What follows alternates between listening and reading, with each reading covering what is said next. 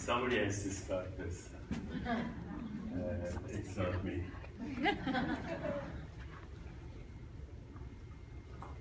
yes. I have a question about astrology. Hmm? I had a session with Trent, and he told me some things that Saturn was bad, and, uh, I- and he told me also not to take notes, that he was going to take it. Hmm. But it didn't sound like good news. Fortunately, I can't remember much of it. And he did, something happened, and he wasn't able to get the tape after all. And I was kind of grateful, and I've never really gone back for astrology, because I thought, if planets are against me, that's not a good thing.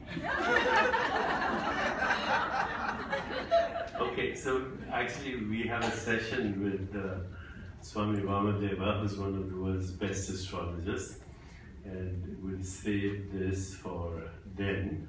Other than uh, astrology is a mathematical system, Vedic mathematics, and it gives you the statistical probability of events.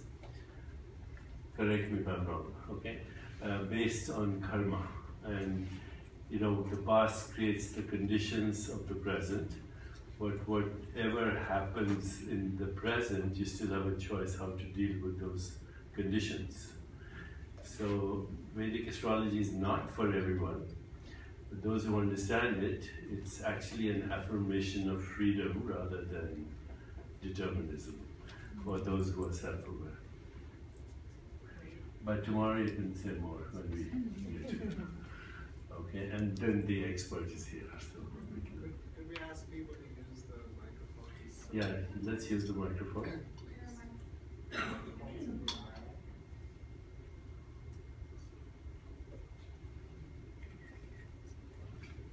It's amazing. So, yeah.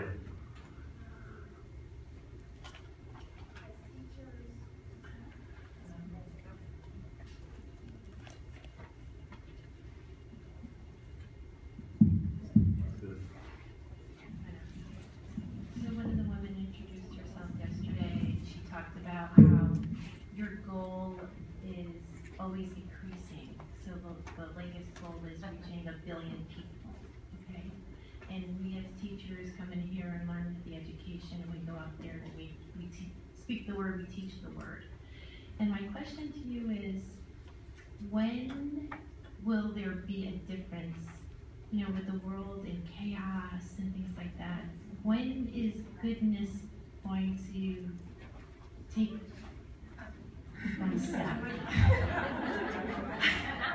The honest answer is I don't know. and the second answer is it really doesn't matter.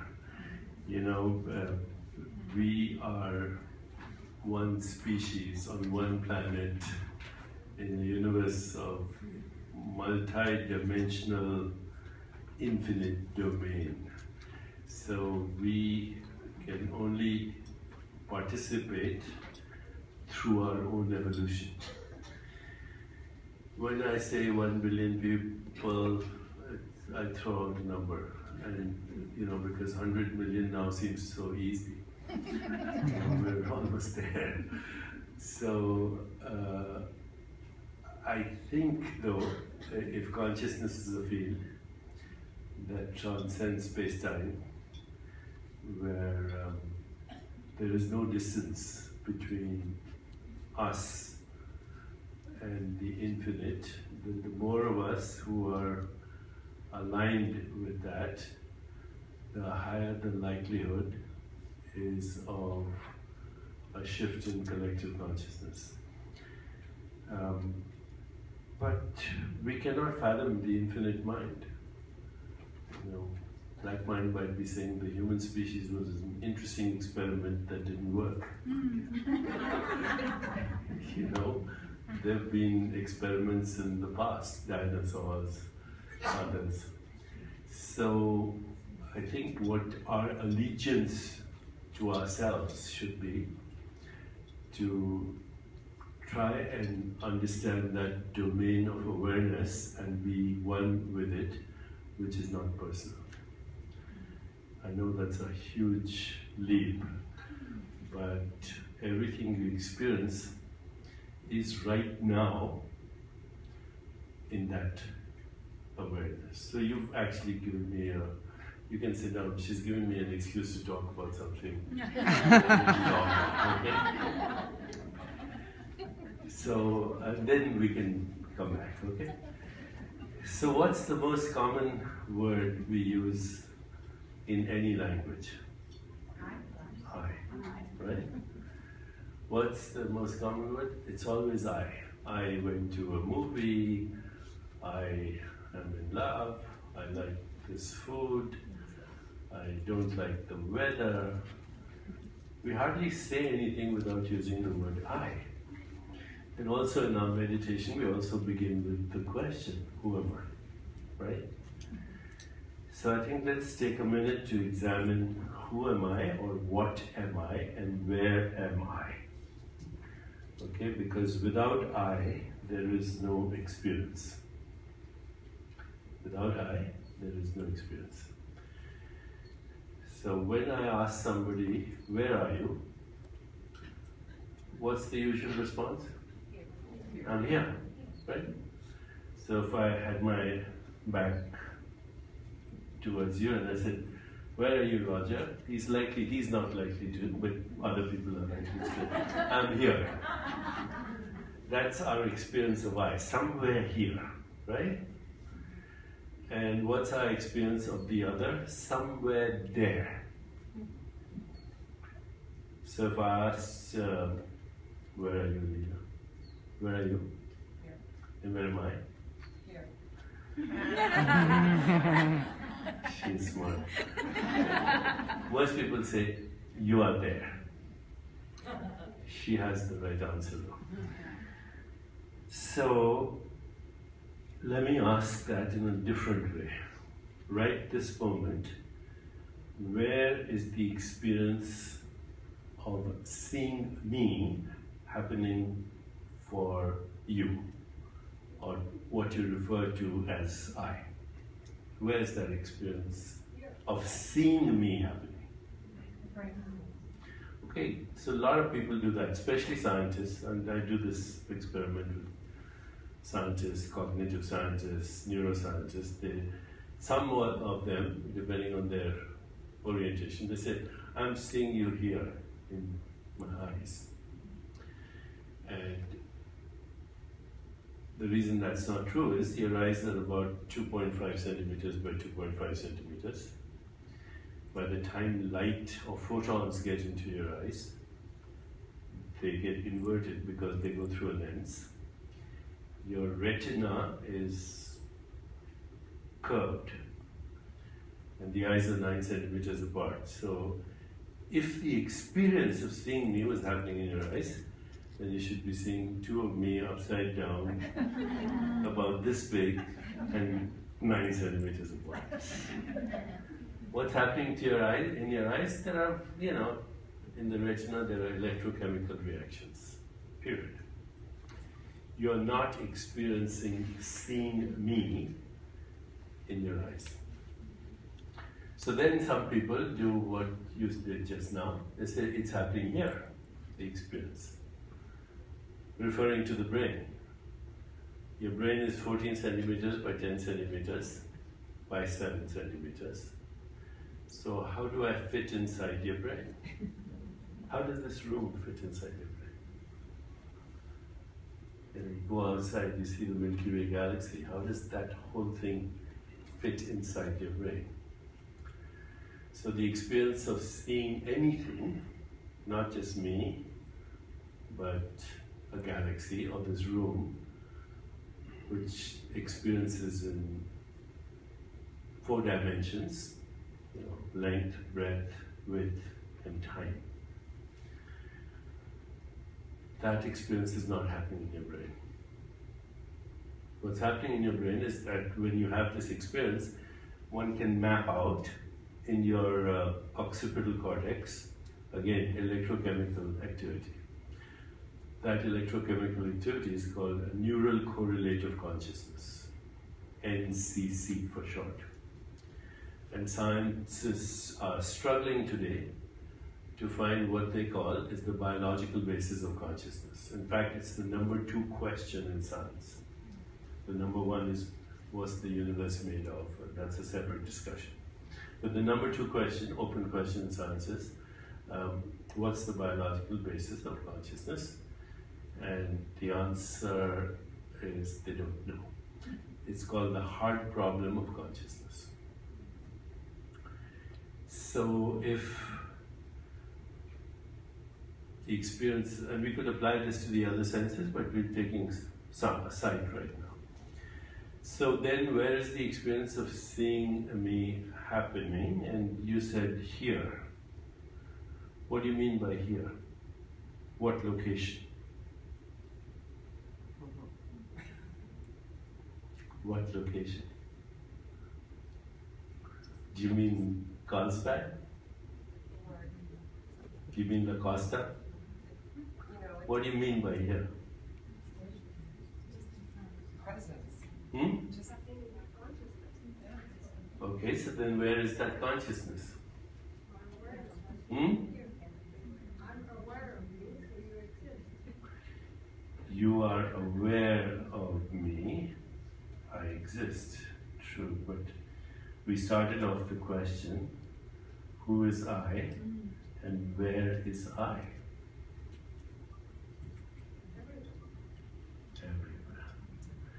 So, no specific location. Right? Yes. So, I, every experience that we have is actually happening in a dimension that has no location in space time.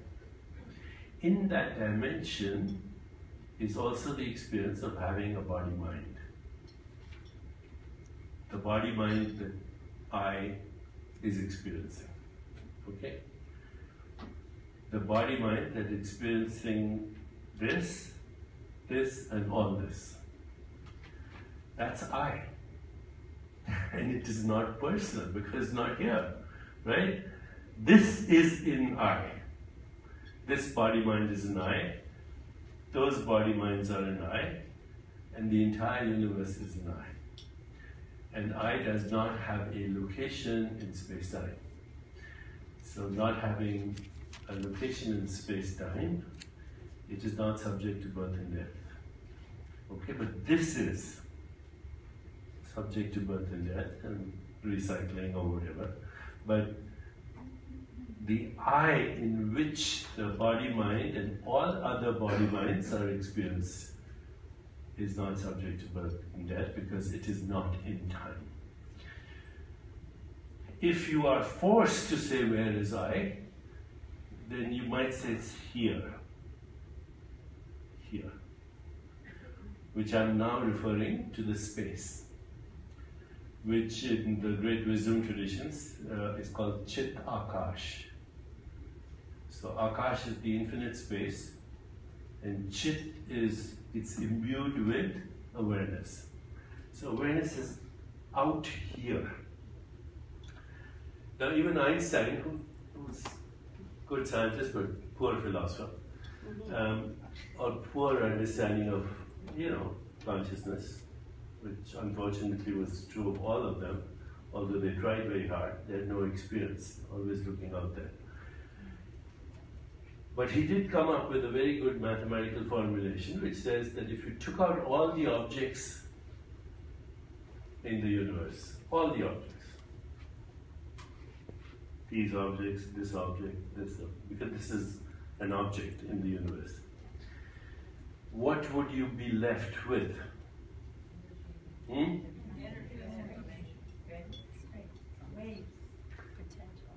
So what somebody said space. Okay? No. You would be left with something that is totally dimensionless and even space-time would disappear. Okay? Space-time is only possible if there are objects and there is relationship between objects. So what would be left if you took out all the objects of the universe would be something that has no dimension whatsoever as we know dimensions. Because you know, dimension means boundaries. Okay? Now he did not go beyond that. He would say, but what he did point out, which is a very important thing, which cosmologists even struggle with today is that space time are also emergent properties. We take space time to be a given, we take matter to be a given, we take energy to be a given, but these are emergent phenomena. And they are emergent as activities, not as things. Okay, so your body is an activity, not a thing. Your mind is an activity and not a thing.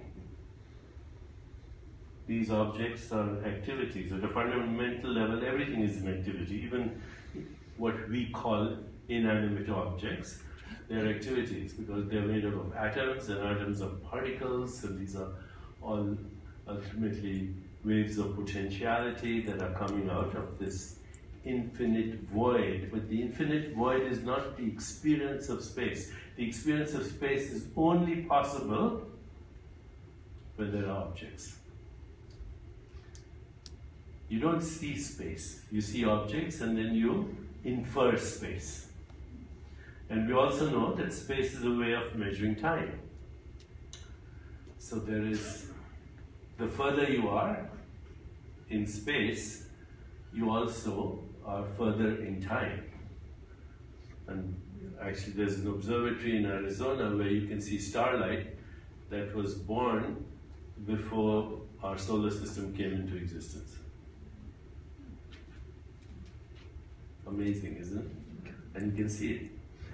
So, space time, matter, energy are all activities in something that has no dimensions whatsoever, as we know dimensions, boundaries, either in space or time. So imagine a Chitakash, which is totally dimensionless, but which is bubbling out right this moment as you, me, and the entire universe. Science today has got to the point where they refer to this as the quantum vacuum. But they still think of the quantum vacuum as an energy field, which is wrong. Okay? Because they think in terms of matter, energy, space time.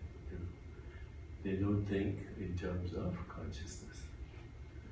The Chitakash is consciousness, it's I.